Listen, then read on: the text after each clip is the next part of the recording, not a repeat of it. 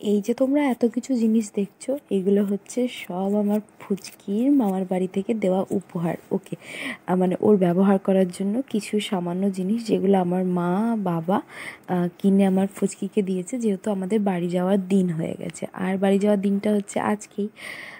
তো তোমাদেরকে একদম ডিটেলসে ভিডিওটা আমি দেখাতে পারলাম না। সত্যি কথা বলতে মনের অবস্থা একদমই ভালো নেই। গোটা একটা বছর কাটিয়ে ফেললাম বাবার বাড়িতে। এটাই হয়তো সারা জীবনের সব থেকে বড় ছুটি। বাবার বাড়িতে কাটানো মানে বেবি না হলে তো এত বড় ছুটি পাওয়া যায় না। হ্যাঁ বাবার বাড়ি যাই, এক মাস থাকি, দু মাস থাকি চলে আসি, কিন্তু এক বছর তো আর হয় না।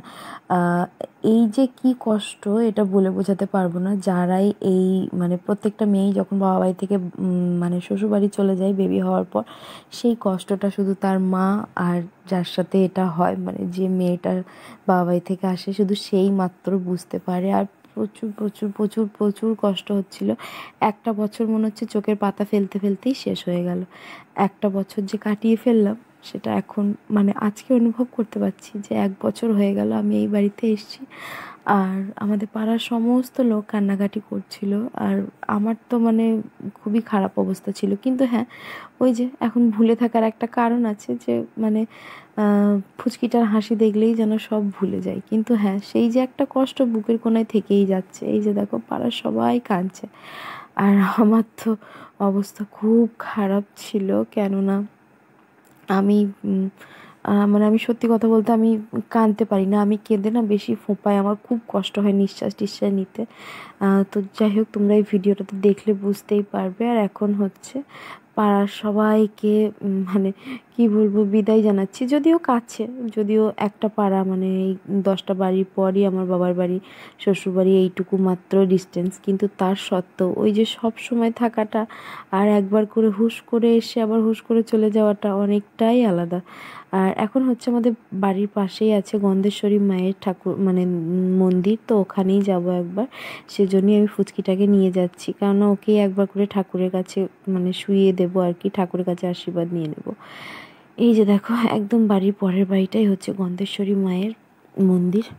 মাও যাচ্ছে পিছু পিছু। মায়ের মনটা আমার থেকে বেশি খারাপ, কেন বলি? আমার কাছে তো ফুচকি আছে আর সেই জন্য মানে সব কষ্ট হলেও ওকে নিয়েই সময়টা কেটে যাচ্ছে। কিন্তু হ্যাঁ এখন মায়ের যেন বেশি খিচিবিচি করবে, যেদিকেই তাকাবে সেদিকেই তোর জিনিস থাকে। তো যখন যখন সেই জিনিসগুলো থাকবে না, তখন বেশি কষ্ট হবে। এই যে দেখো, গন্ধেশ্বরী মায়ের কাছে একবার দিলাম আমার ফুচকিটাকে শুয়ে দিলাম, দিয়ে তারপর সবাইকে তো প্রণাম করেছি, কিন্তু ঠাকুরের সামনে প্রণাম করতে নেই, ওই জন্যই জেঠিমাকে প্রণাম করতে পারলাম না। আর মানে কি বলব, কথা বলতে পারছি না কোনো কিছু।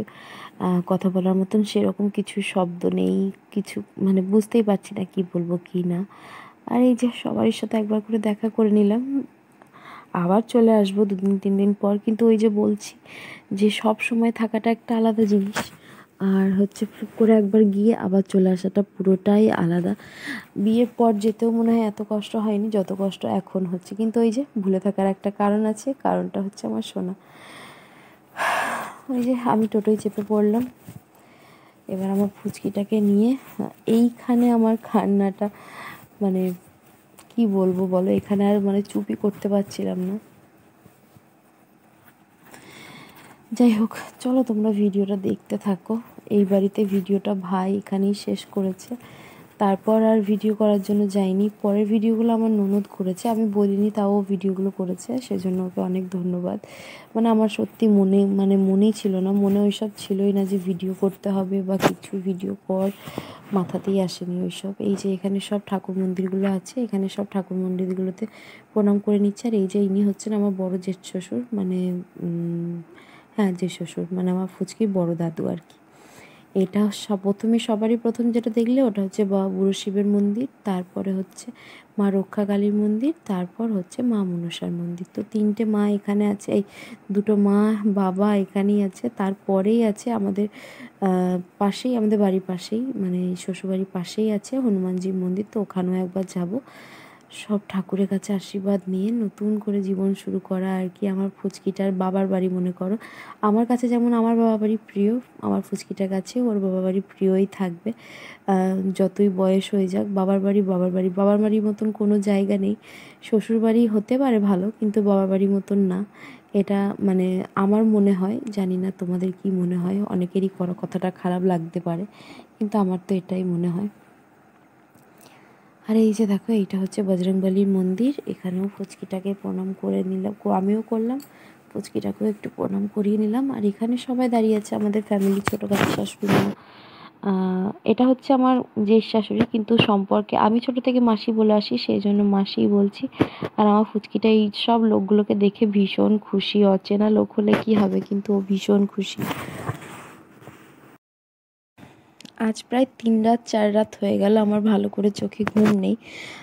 কেননা শুধু একটাই চিন্তা আসছে, কি করে থাকব, কি করে থাকব, ওই বাড়িতে কি করে থাকব? মানে এত এক এক বছর কাটিয়ে ফেললাম। আর আমার না বাবা বাড়ি গিয়ে অভ্যাস আছে যে আমি আলাদা করে কোনো ঘরে শুই না। আমি মায়ের সাথে, বাবার সাথে, ভাইয়ের সাথে সব এক ঘরেই আমরা শুই। তো ওইটা একটা অভ্যাস হয়ে যাচ্ছে এই বাড়িতে এসে যেন একা একা কী করে থাকব ওটাই আরও চিন্তা হচ্ছিল আমার। ও মা?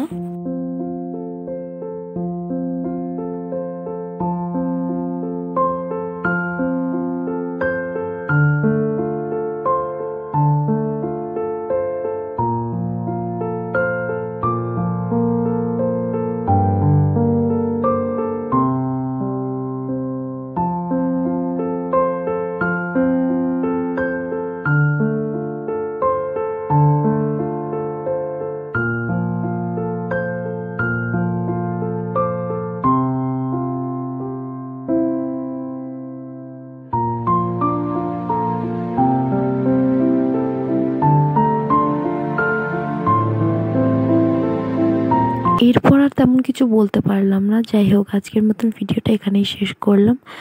যদি ভালো লাগে ভিডিওটা, অবশ্যই কমেন্টে জানিও, একটা করে লাইক শেয়ার করে দিও।